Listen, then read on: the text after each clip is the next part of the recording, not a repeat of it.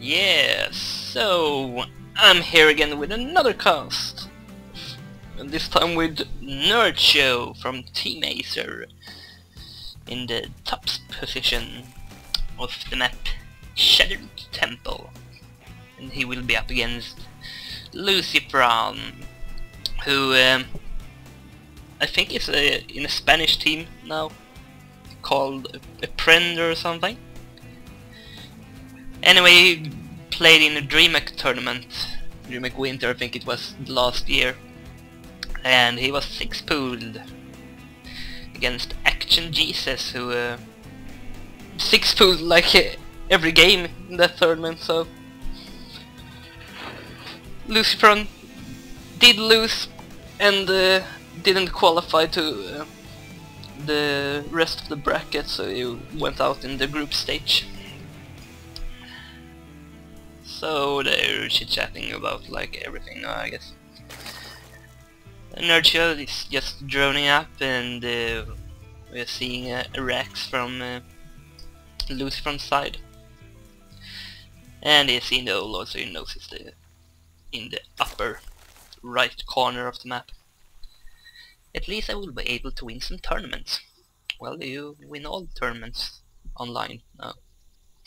so nothing fun with that. A 14 pool going down for Nerchio's side. As always I will be looking mainly on the third player because I really don't know Terran that well. It seems like a pretty standard opening. You will be seeing a orbital command go down. I just know the B button. Way and he's building a marine, build a marine. Oh, a tech lab! That's kind of early. I guess it's because he's already seen that um, Nerchio is taking his uh, expansion. So he knows there won't be any Zerglings for uh, quite a while, so he can produce that uh, tech lab really really early. And yeah, it's probably a Reaper expand. It's kind of nice from uh, Lucifron's side. These players are playing a lot of ladder games. Since they are uh, really high grandmasters, I believe they are, have played some games against each other before.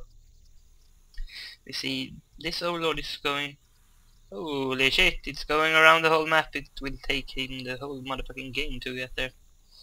So we see four or five drones going down, and we see that's an SCV and the Reaper is on its way to proceed to get some kills and the command center is going down for Lucifron's side. So we see if the Reaper gets about, say, 3 drone kills or something, then it's probably worth it. And one Zergling going down, the SV is going down, 2 Zergling kills for the Reaper, the Reaper is...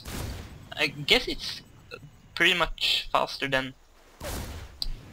Where is it? 295 against 295, so it's just as fast as the Zergling off creep. I don't really know about chasing those. He probably shouldn't have done that. I would have gone for drone kills instead.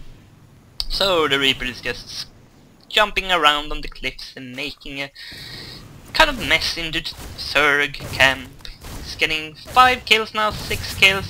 So it's a pretty much good Reaper for Lucifron's side who's kiting this queen as well. I don't know if it's going to fit the overlord over here, it probably would be nice so we can kill that fucking reaper. And we see a friend of mine is gonna I should set myself on busy. Stop shooting, I wanna look at other things. Blue Flame is going down for uh, Lucifron now.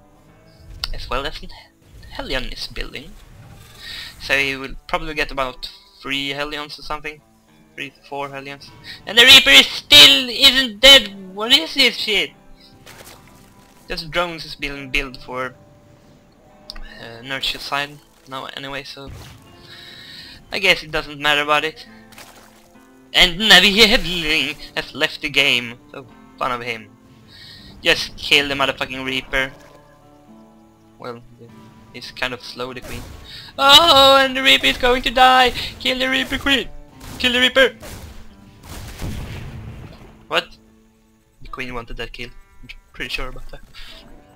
Five roaches is producing from Nerchio's side, who pretty much knows the timing of this, I guess, because the roaches will be out, well, about the same time that Blue Flame finishing.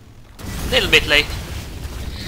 So three Blue Flame Hellions is going up in the base to get a lot of drone kills, and we say as we used to be. Lining up! Yeah, I guess this Hellion is pretty much worth every cost uh, that is the blue flame in the gas. Nerchio seems to be cleaning this up, but he has lost some drones there is quite far what do you say? Not the head. I'm just find find the English words now. Well, screw that. Nice overlord spread from Nerchio's side, who's yeah taking everything back now because it's a Viking out. It's like TLO style, just to get one Viking instead of producing like uh, I don't know Medivacs, I guess, with a tech lab. Medivac Tech Lab. And he's produced a Viking. Why did he get the tech lab on it? So unnecessary. Starport! Yay, Starport! It's a nice building anyway. So Nerchio is uh, trying to get some damage done here, because, but there are, there are some rocket shooters inside that bunker, so he can't sneak in. As well as Blue Flame Hellion is making a lot of splash damage. Blue Flame Hellion is kind of good against roaches when roaches are clumped together. So you, you can't say that they don't counter roaches because in a great mass of Hellions should kill off like 5 or 6 roaches or so.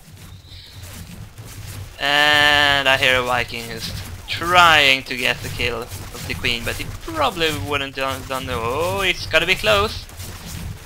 And the queen is winning because the Zergs are OP. Oh nice, Stim is going down for the Terran player as well, Lucifron will get, be getting Stim. Well, just about time. Yeah, the spy will not have finished. So pretty good timing on that. No combat shield though, but it will, I guess it will be done before the mutas are out anyway. As long as he's getting some extra marines, he will probably hold that up. Lucifron, who has been on one base the whole time now, and missing the income tab, that the Nerchio has quite a good of income compared to Lucifron. Well, I think, oh, Hellions again. This doesn't look good, and the Queen's just melting away and you see on my low graphics you can't see the big flame that's going on. Yeah, and just 52 supply now for Nerchio. Nerchio seems, yeah, it's now producing 10 Mutalisks, so he's uh, back again. I think he should have destroyed his, yeah, now he's destroying the rocks, like I should. And we see some links here, and an overlord to scout for another things, and a little small push, it's pretty strong because it can elevator up along with the tank who can sit on the low ground if he wants to, but he doesn't, so... Where are the mutas? Here they are!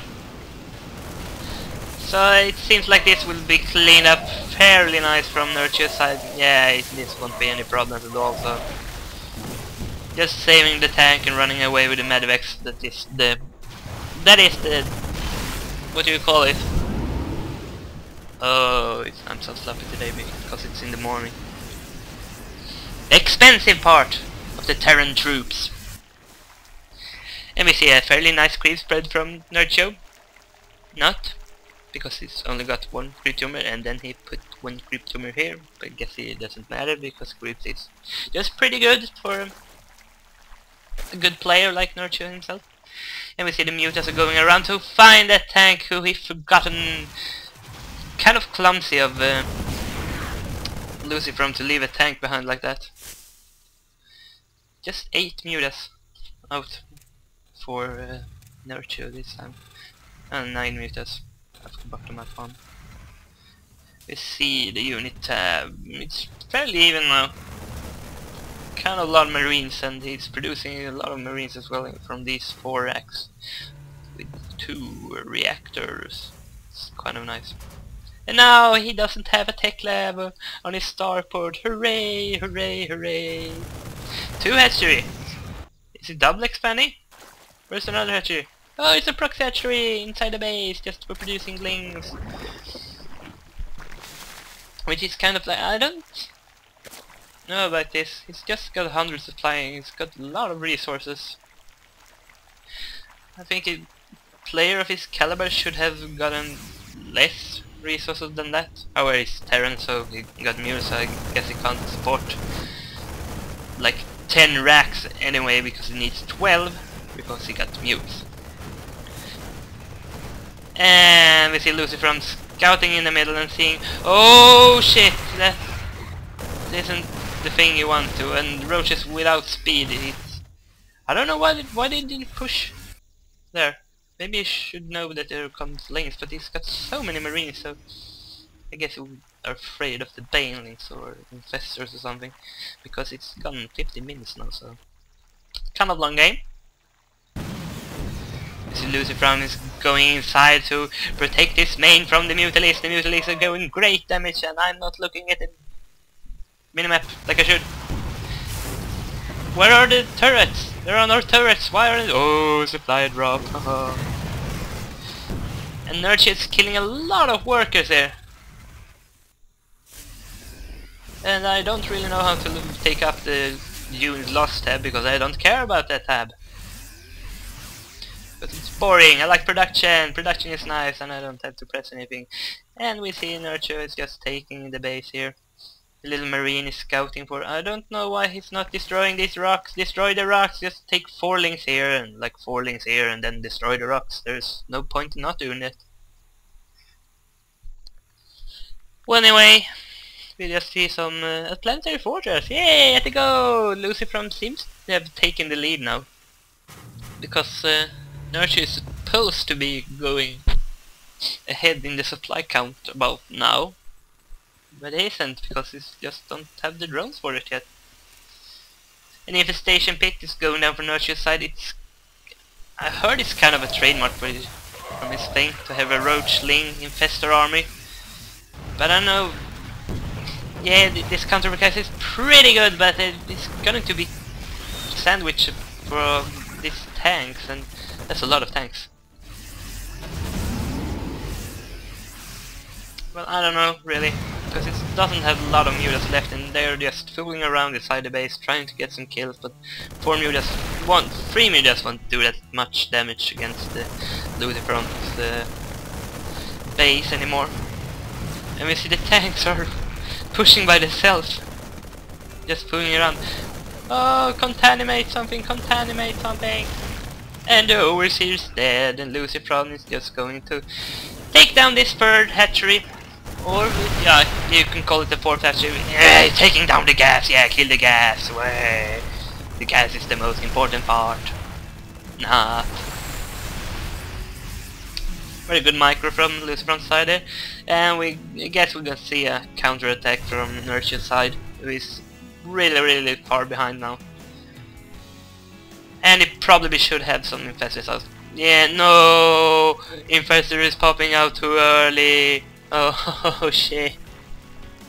So they don't want uh, those extra 25 energy I guess because uh, infested don't need that. You can just wait to, for them to get the 75 and just look around the map, look inside this space. There's nothing happening here. Anyway, back to the fight. And we see Nerchio has a pretty large army behind Lucifer's troops and just a small army in front of it. So it's going for it. A lot of lanes streaming in and this got his 75 energy and this will be cleaned up from Nerchio's side. However, a lot of marines and reinforcements is coming down from the right side. Lucifer with a sneaky attack from behind so is Vicia Fungal Growth here, we won't be doing anything because Lucifron is so far ahead and Nerchio just smiling. And it probably was a fun game. I agree, Lucifron is playing pretty standard and doing it quite nice as well. And Marines are pretty good. And that's all I have to say about this. Nerchio, what did you lose? Anyway, peace!